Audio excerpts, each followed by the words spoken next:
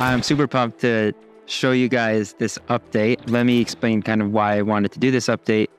Big reason is mostly for user onboarding and just making the initial user experience easier and making it easier to train certain things. So we are introducing a simpler model.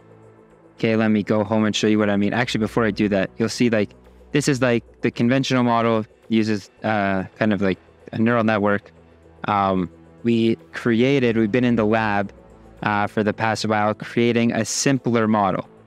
And so if you go into your settings over here and you click on model, basically there's a new toggle you can have here, which is model type. The original is the original neural network. If you click on simple, it's a simplified type of model, which I will walk you guys through this, this type of model. Even though I'm training on the simple model type, it's a new model.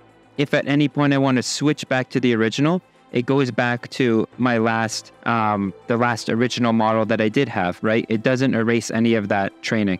It keeps it all and it puts it to the side so that if you want to switch back at a later date, you can. So for the simple model, by default, it just has equal probability of doing everything. Okay, that's uh, the base of, of the simple model is that um, if you don't show it something, it's just going to have an equal probability. This is slightly different than the artificial neural network. The artificial neural network is randomly initialized, so it takes um, almost like the probabilities are randomly assigned, basically. Here, the probabilities are all equal once you just initialize a simple model. The second thing is how does this model actually work? Um, like, how does it take actions? Basically, what we did is we split up the environment into many different buckets, right? These are all the different scenarios you can be in. So, for example, one of the scenarios is I am far from the opponent, right? Another one is I am close to the opponent. Of course, there are sub buckets here. So I'm far from the opponent while on the stage. I'm close to the opponent while on the stage. I, I hope that makes sense. There's some other ones like I'm close to the opponent while on the stage and the opponent is in shield. I'm close to the opponent while on the stage and the opponent is hitting me, right? Stuff like that.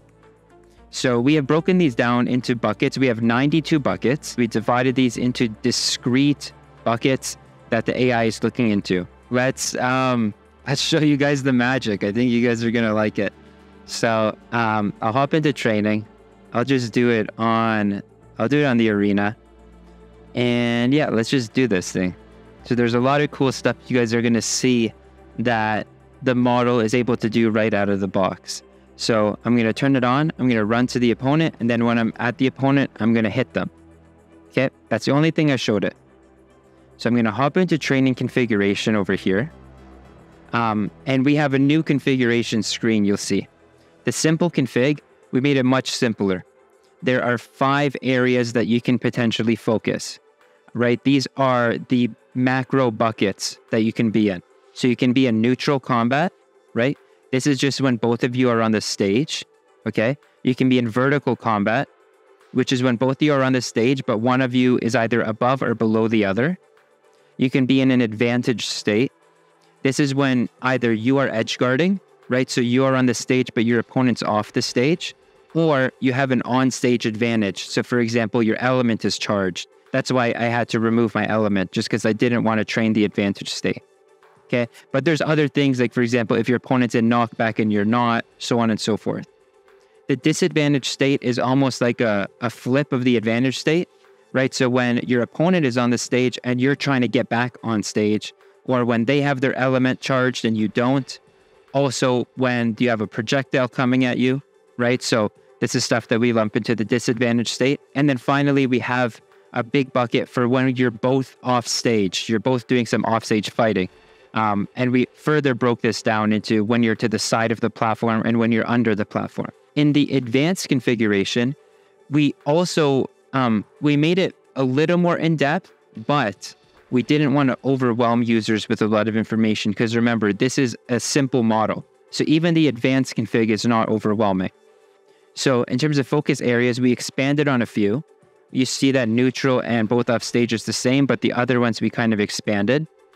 One bucket is um, when you're both on stage, but the opponent is above you. Another one is when the opponent is below you. One of them is just edge guarding if you only want to train edge guarding. When you have the on stage advantage without edge guarding. Um, when you're being edge guarded and when you're both on stage and have you have a disadvantage.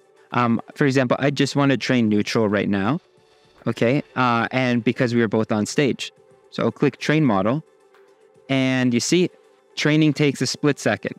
Uh, with the simple model, we designed it in a way uh, because it's not a gradient based model like a neural network.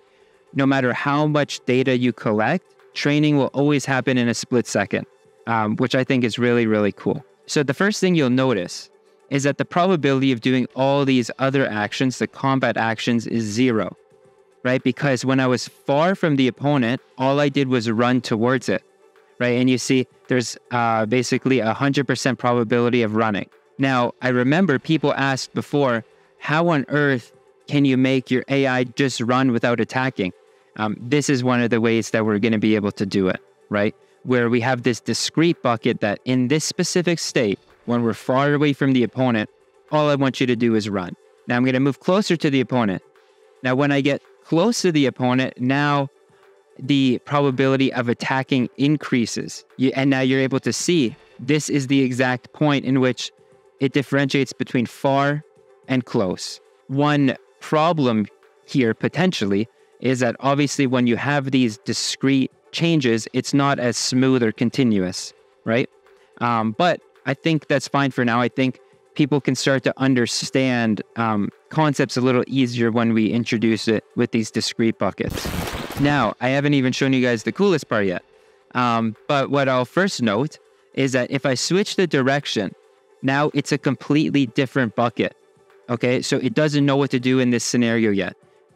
And, which is another problem where you don't have interpolation because usually with interpolation, it would combine some of the other features that could still be used to train. In this case, if you haven't seen this bucket, it doesn't even touch it.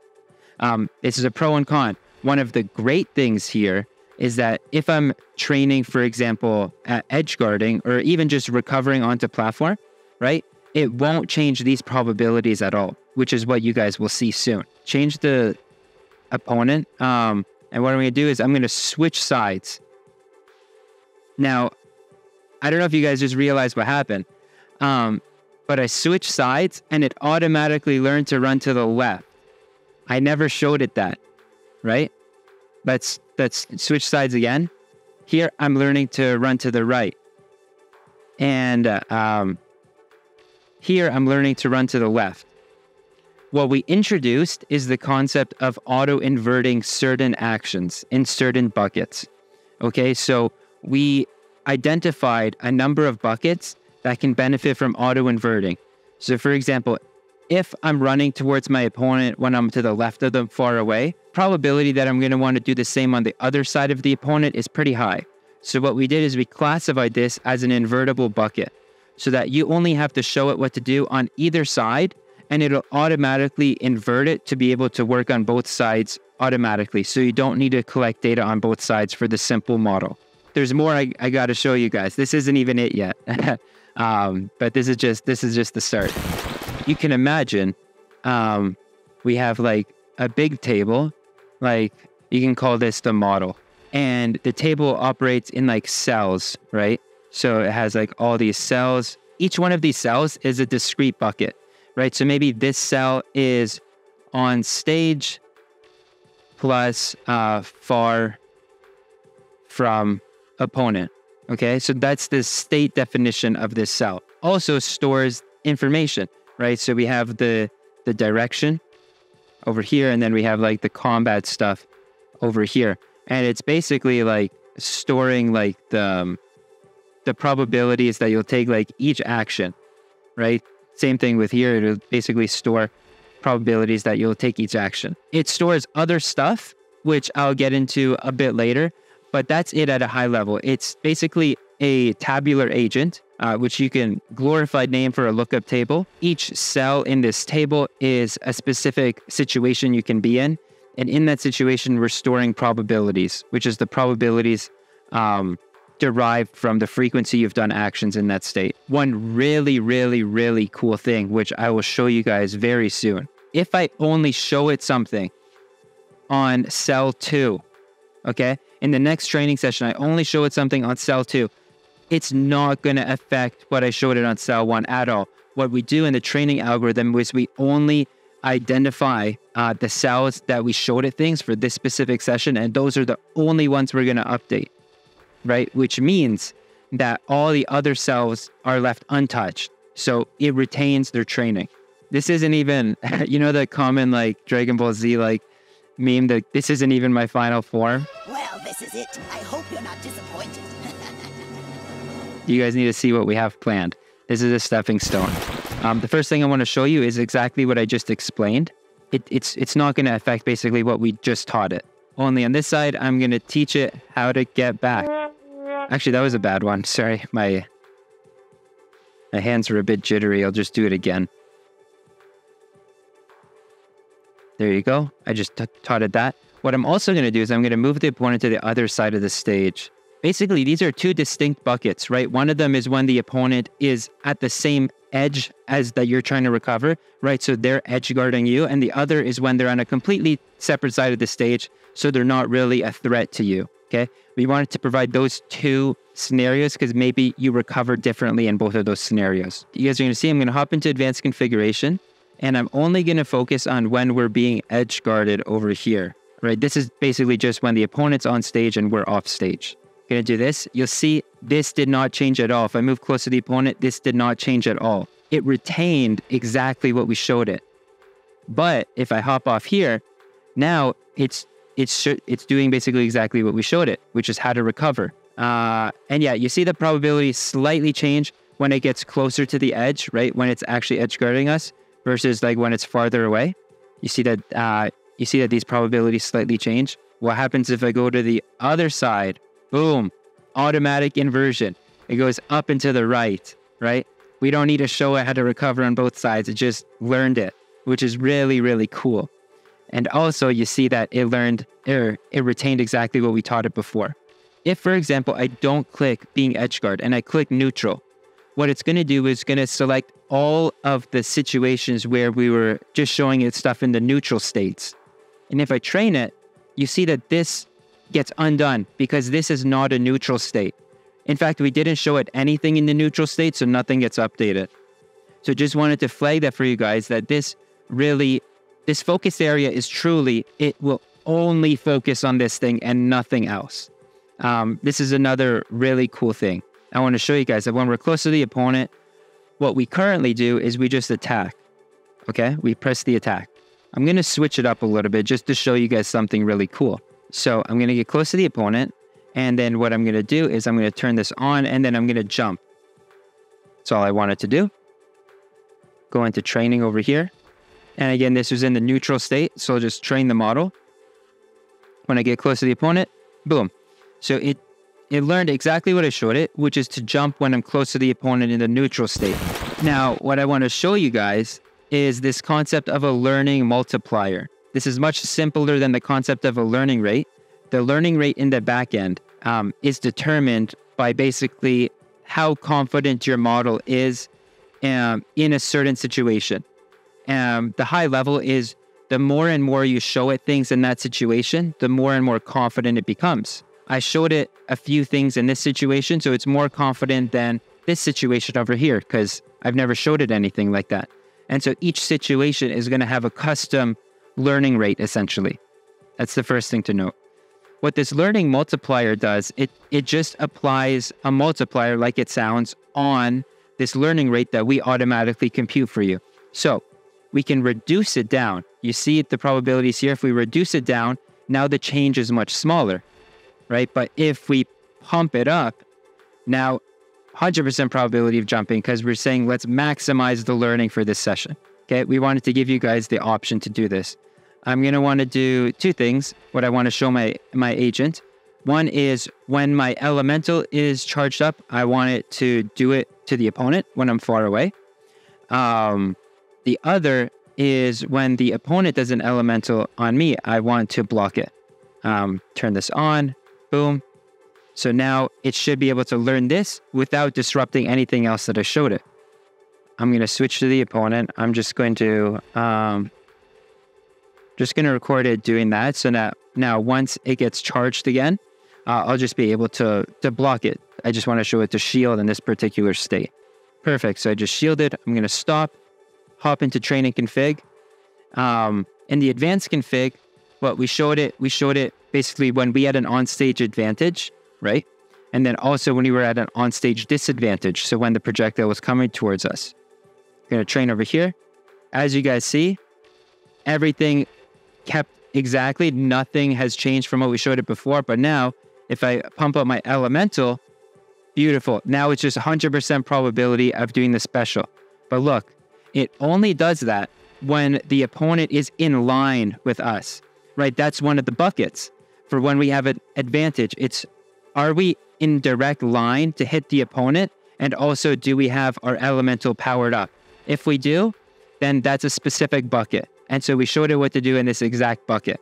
When we have an elemental coming at us from the opponent, we increase the probability of shielding, right? And now, if it's not coming towards us, it won't do that. If it's coming towards us, it will do that, right? Boom. So now we just taught it two, what was before very hard things in a very, very simple way. And while doing this, we retained all the probabilities of all of our other actions the buckets don't take into account all the information in the environment, right? It won't take into account the exact position of all the different types of platforms. Is I'm off the platform, right? And my opponent is far away from the platform. That's all it takes into account. It doesn't take into account, oh, maybe there's like a wall uh, right here, right? It, it won't take that into account. That's one of the downfalls of this. Of course, um, we could make this a bucket, but then if we consider all possible scenarios, we're going to end up with a hundred thousand or a million buckets, right? Um, which is why initially we use an artificial neural network, right? And we use generalized inputs like raycasting to take this into account. I wasn't going to reveal this now, but one thing I'll let you guys know is we are working on a combination of the simple model and the neural networks um, to basically actually, I won't say exactly what we're doing, but it's going to be a combination of them. So we're going to be able to have these discrete states like the simple model, right? Where only when you show it things in that state, it's only going to update that and it's not going to affect anything else. But we're going to have the power and generalizability of the neural networks in each of these buckets. I'm very, very excited about that. Again, I just wanted to mention the simple model is just a stepping stone to get there. But when we have our ultimate model, um, then we're going to be able to tackle this.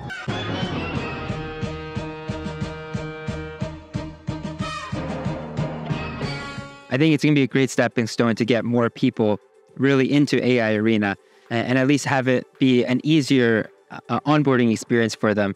And then it also helps us in terms of like creating this ultimate model because again, this is meant to be a simple model.